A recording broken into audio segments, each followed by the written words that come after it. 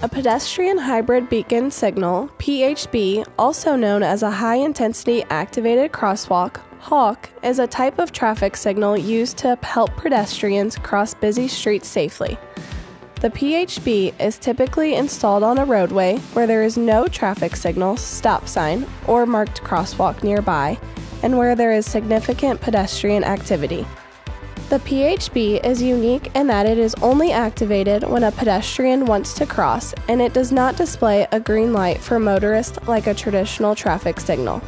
Instead, it displays a flashing yellow light which alerts motorists to slow down and prepare to stop.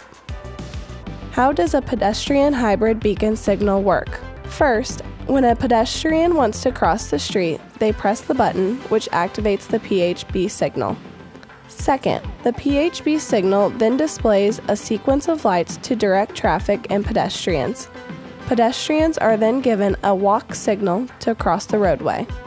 Third, the PHB signal will display a flashing red light, indicating that traffic may proceed through the crossing with caution. It's important to note that different jurisdictions may have slightly different signal sequences, and that pedestrians and drivers should always follow the specific instructions provided by the PHB signal. Here are the indications that a driver and pedestrian would see at a HAWK signal. Please take the time to review this image to get familiar with the meaning of the different light sequences.